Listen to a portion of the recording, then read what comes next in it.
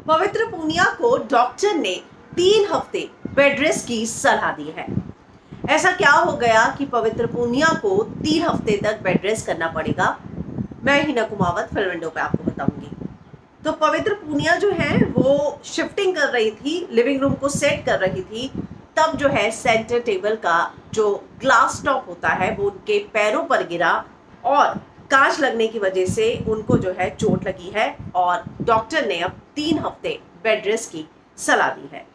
ये दुर्घटना कैसे और कब हुई, इस पर पवित्रा ने एक बयान दिया है। उन्होंने एक इंटरव्यू दिया जिसमें उन्होंने कहा, वो ग्लास टॉप इतना हैवी था कि जब वो मेरे हाथ से फिसला, मेरे पैर पर जा गिरा, तभी मैं समझ गई थी कि नॉर्मल दर्द नहीं है।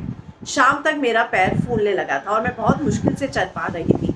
दूसरे दिन मैं एक्सरे के लिए गई तो पता चला कि गंभीर लेगमेंट डैमेज हुआ है और अब मुझे तीन हफ़्ते तक बेड रेस्ट करना होगा। लेकिन इस चोट के बावजूद पवित्रा अपने होम टाउन दिल्ली जाने वाली हैं।